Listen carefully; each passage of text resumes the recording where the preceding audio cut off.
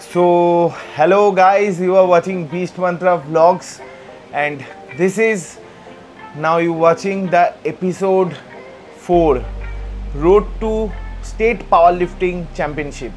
दोस्तों थंबनेल देख के तुम लोगों को पता लग ही गया होगा कि आज किस बारे में मैं बात करने वाला हूँ क्योंकि आज तो ना तुम लोगों को मैं कोई वर्कआउट दिखा पा रहा हूँ और ना तो मेरा डाइट हाँ डाइट शायद मैं दिखा सकता था लेकिन आज दिखाया नहीं क्योंकि कल जैसा आज भी डाइट मेरा सेम था कुछ इसमें चेंजेस नहीं था।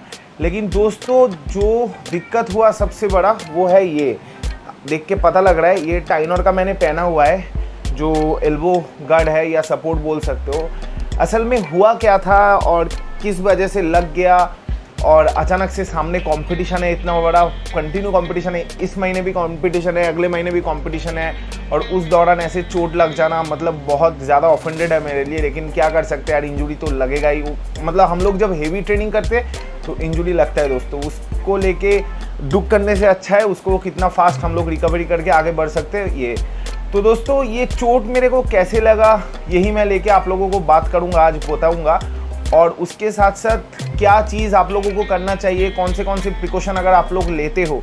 मतलब एक पावर लिफ्टर को लेना चाहिए वर्कआउट के पहले वर्कआउट के बाद, या वर्कआउट चलने के टाइम में भी।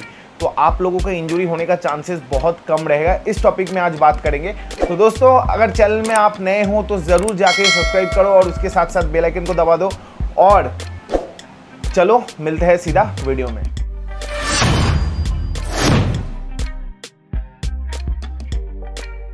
दोस्तों, ये जो चोट मेरे को लगा, ये कैसे लगा, ये लेके सबसे पहले बात करेंगे।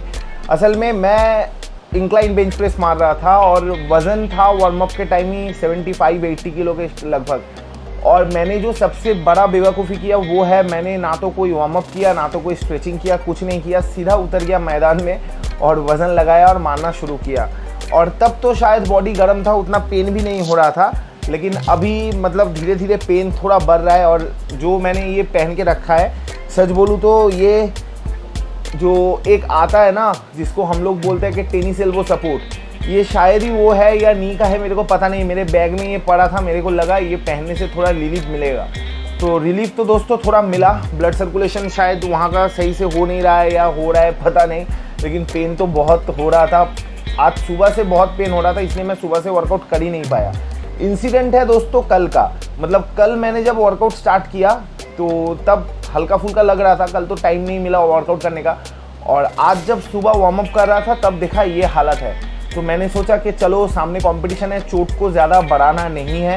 इसको रिकवरी करके जितना फास्ट इसको सही कर पाएँगे, उतना हम लोगों के लिए अच्छा है। तो मैंने क्या किया पॉज कर दिया। और उसके बाद सबसे जो ज़्यादा इंपॉर्टेंट मेरे लिए था, वो था आइस पैडिंग दोस्तों, ये मेरे लिए नहीं, आप लोगों के लिए भी मैं एक चीज़ हमेशा बोलूँगा कि जब भी आप लोगों को कोई इंजुरी आ जाए या आप लोगों को चोट आए तो जो प्रिकॉशन बाद में लेना होगा, वो आप लीजिए। लेकिन पहले जितना फास्ट हो सके, आप लोग आइस पैडिंग कीजिए, क्योंकि आइस पैडिंग ही एक ऐसा चीज़ है जो उस टाइम इंजरी को हिल कर सकता है और चीज़ को बढ़ाने से कम कर सकता है। और एक लेवल में आ जाए, ताकि वो पेन जो रिसेप्टर्स होते हैं, उसको उस टाइम के लिए ये ब्लॉक भी करता है। तो दोस्तों, आज का ये वीडियो बनाने का खास तो कोई मकसद था नहीं, लेकिन मेरे को एक चीज़ लगा कि जैसे मेरे जैसे ऐसे बहुत सारे लिफ्टर्स होंगे या दूसरे स्पोर्ट्स के बंदे होंगे जो कंपटीशन में रेडी होते होते उनको इंजुरी आ जाता है, उनको चोट लग जाता है। फ़िलहाल फिर भी मेरा अभी भी हाथ में टाइम है, ऐसा नहीं है कि एकदम कंपटीशन के पहले पहले लगा। अगर पहले पहले लगता तो मेरे को पेन किलर्स के अलावा और कोई मेरे पास ऑप्शन नहीं रहता, लेकिन अभी मैं पेन किलर्स नहीं लूँगा इतने से चोट के लिए। इसके लिए मैंने अभी जो सोचा है कि दो दिन अपना वर्कआउट को बंद रखूँगा और उसके साथ साथ मैं इसके ऊपर आइस पैडिंग करता रहूँगा ताकि ये जगह थोड़ा हील हो जाए और इसमें थोड़े रिलीफ मिले। और उसके साथ साथ अगर हल्का फुल्का स्ट्रेचिंग वगैरह करना है तो मैं हाथ में ये टाइनर का जो प्रोडक्ट है, ये पहन के मैं वो हल्का फुल्का जो वार्म अप वगैरह है, वो करूँगा। तो दोस्तों, आज का ये वीडियो बनाने का जो सबसे बड़ा मतलब है, वो था दो तीन चीज़ों का। एक तो मैं आप लोगों को हमेशा बोलूँगा, आप लोग जिस बॉडी वेट के भी लिफ्टर हो या पावर लिफ्टिंग ही नहीं, आप लोग अगर दूसरे भी कोई स्पोर्ट्स से कनेक्टेड हो, जब आप लोग वेट ट्रेनिंग करते हो तो उसके पहले आप लोग अच्छे से स्ट्रेचिंग एंड वार्म अप कर लो, क्योंकि अगर हम लोग सही से स्ट्रेचिंग एंड वार्म अप नहीं करते तो हम लोगों का जो मसल्स का टेंडन है उसमें चोट लगने का चांसेस बहुत ज़्यादा है। और ये खास तो फ़िलहाल मेरा इंजरी उतना कुछ खास हुआ नहीं, ये छोटा मोटा इंजरी है। इसके पहले भी मेरे को ये सेम मसल में सेम हाथ में, ये डायना हाथ मेरा शायद वीक है, इसलिए लगता है बार बार तो यहाँ पे लग चुका है, लेकिन वो तो ठीक हो गया फ़िलहाल। इस बार भी ठीक हो जाएगा, उसको लेके कोई टेंशन नहीं है और ये तो है ही सपोर्ट देने के लिए।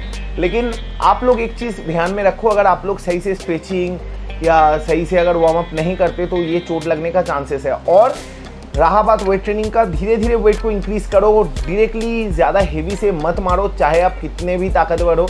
क्योंकि धीरे धीरे इंक्रीज करने से हम लोगों का मसल्स का जो है कैपेसिटी बढ़ता है, वो प्रॉपर तरीके से वार्म होता है, उसके बाद आप लोग उसको हिट करो, उसमें कोई दिक्कत नहीं है। और उसके बाद भी अगर बाई चांस आप लोगों को इंजुरी या चोट लगता है तो मेरे हिसाब से सबसे पहला जो आप लोगों को काम करना है, वो है आइस पैडिंग करना, क्योंकि जितना आप आइस पैडिंग करोगे, उतना आप लोगों के लिए अच्छा है, उतना जल्दी उसको रिकवरी होता है और पेन रिसेप्टर्स भी ब्लॉक हो जाता है उस टाइम में। तो ये अगर आप लोग सही तरीके से करोगे तो इंजुरी उतना जल्दी नहीं आएगा। और एक सर्टेन टाइम के बाद जब आप लोगों का पावर फॉल होता है या तो आप लोगों का बॉडी बहुत ज़्यादा स्टिफ हो जाता है तो स्टिफ होने के टाइम में भी इंजुरीज वगैरह आ सकता है। जैसे मेरे को तो यही लग रहा है कि बॉडी मेरा स्टिफ हो गया, इस वजह से शायद ये पेन लगा या इंजुरी आ गया। और वार्म अप तो है ही, उसके बारे में कुछ बोलना ही नहीं है।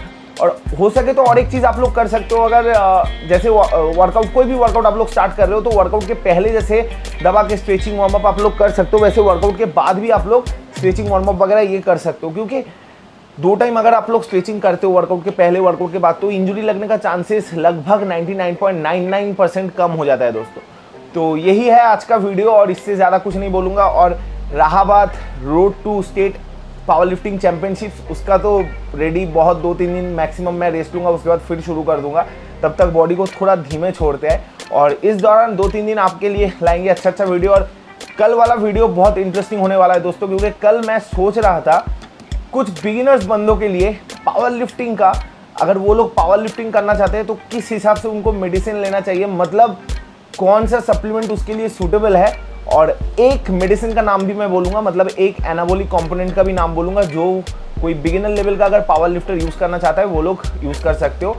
बहुत ज़्यादा हार्मफुल नहीं है, लेकिन हाँ एक लिमिट पे उससे ज़्यादा नहीं। तो ये लेके मैं कल बात करूँगा, कल के वीडियो में। फ़िलहाल आज का वीडियो दोस्तों इतना ही।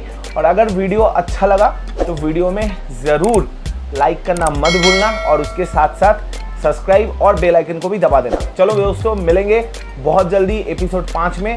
तब तक tata take care, bye bye.